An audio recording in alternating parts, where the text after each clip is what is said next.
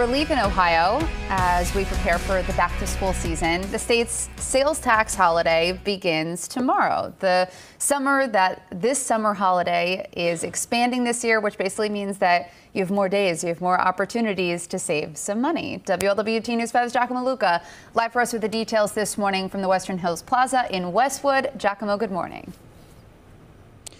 Yeah, good morning, Megan. This sales tax holiday comes amid rising inflation, and we want to make sure we can get you prepared for that. Uh, certainly, we're seeing higher costs from everything from food to clothes, uh, even back to school supplies. So let's take a look at how this 10 day event is going to work.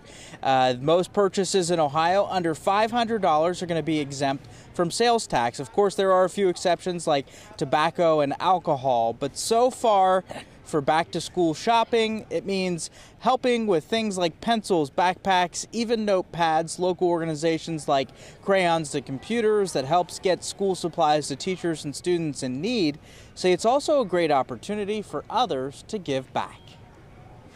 Well, it just makes it easier for people to uh, to purchase the school supplies that are needed by uh, teachers and students in need throughout uh, throughout our region. Makes it easier for them to afford those uh, those products and uh, maybe buy a little bit more that they can donate for the benefit of, of uh, folks in our region.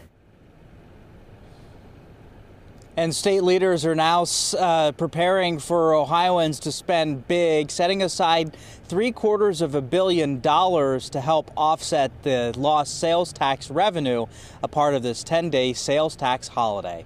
Live over at the Western Hills Plaza this morning, Giacomo Luca, WLWT News 5.